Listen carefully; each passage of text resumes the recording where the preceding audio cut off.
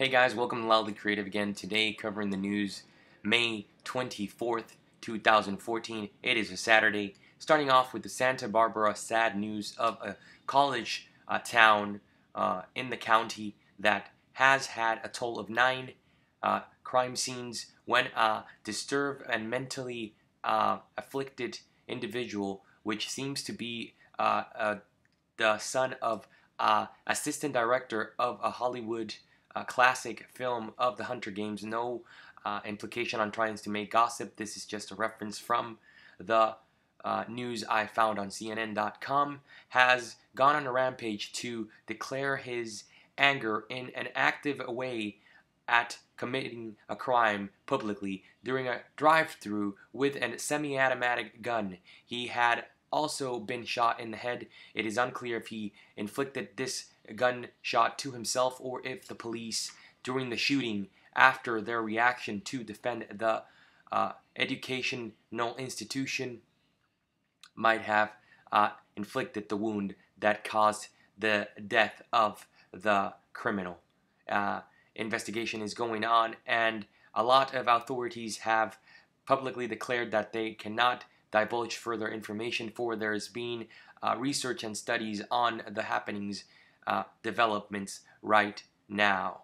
People that suffered injuries and were also present during the event uh, a near local dining place which held meetings and student exchanges between the community and the students that attended the college were somewhat surprised when they got out of the dining room to realize that there were bodies on the floor due to the fact that they thought it was fireworks.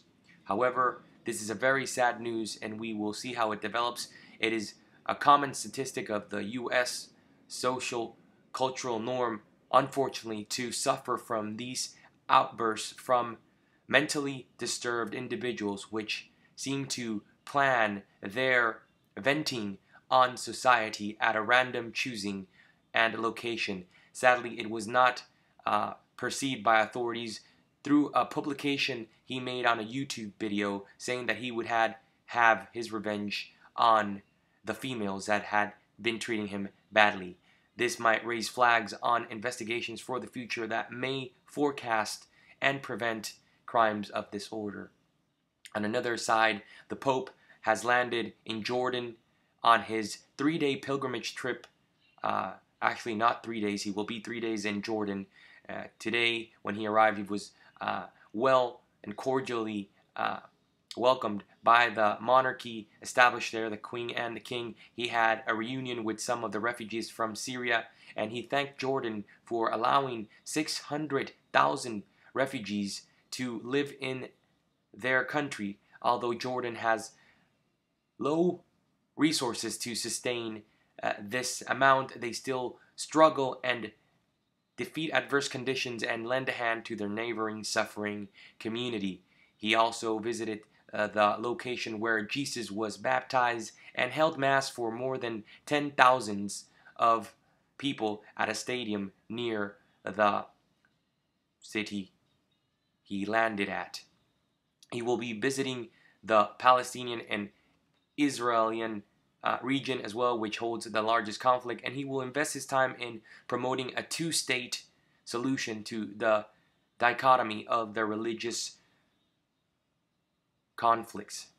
We will have to wait and see how this develops, and on Sunday he will leave Jordan. There are high hopes, extremely high security as well, and high faith within his followers to believe that change within war on religious premises, and roots can, overall, in a democratical, institutional, and spiritual way, have blessings over their future peace. Further on in the lines, we have that Russia has their eye on Ukraine, which is holding an elections to uh, take charge of their assignation on a leader.